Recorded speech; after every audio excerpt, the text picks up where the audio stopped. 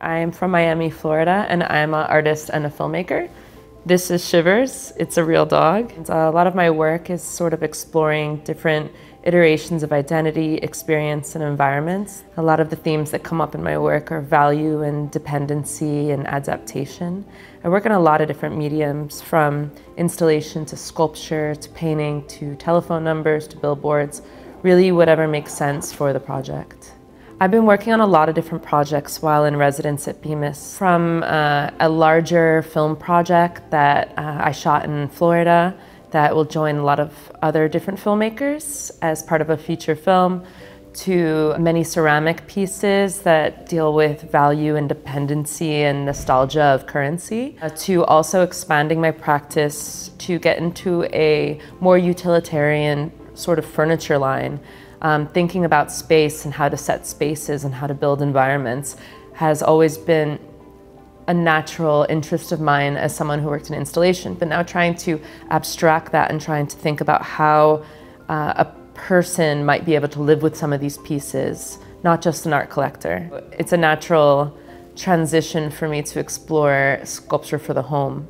So I was not trained as a sculptor per se, definitely not as a designer, but I'm someone who comes to materials and tools and tries to learn as much as I can in this kind of ad hoc way. I'm always trying to figure out what I can get from the materials and what I can get from the form. So it's kind of this collision. Recently, I've been just sort of trying to build my sketches into real life objects.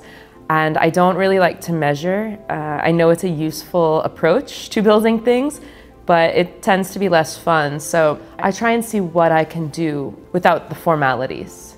And it leads to very odd shapes at times or things that just fail right off the bat. But I'm interested in that, that learning curve.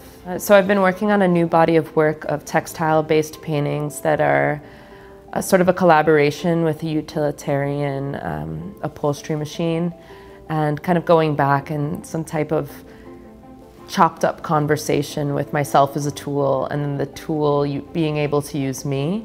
Um, I'm really just figuring it out and I'm using the time at Bemis to really just explore and experiment and fail and um, see what I can do and how I can push it. Another project that I've been developing and uh, working through while I've been in residence is a nomadic residency that would be taking a lot of cues off of survivalist and prepper culture, thinking a lot about uh, what it means to prepare for something somewhat unpreparable for, uh, thinking about value and um, notions of the end or what it means to move into a period where the end might be on the forefront.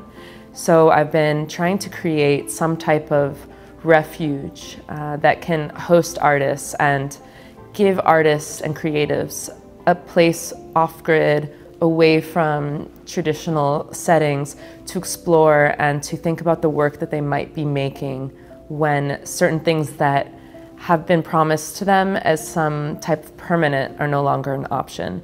So whether it's economic or uh, infrastructural or environmental collapse that is looming in our subconscious or perhaps right on our, our doorstep, what and how does the role of the artist change in those sort of circumstances?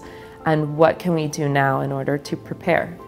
What does it mean to be an artist that makes physical work when uh, the borders or the edges of uh, territories or lands are being renegotiated in real time.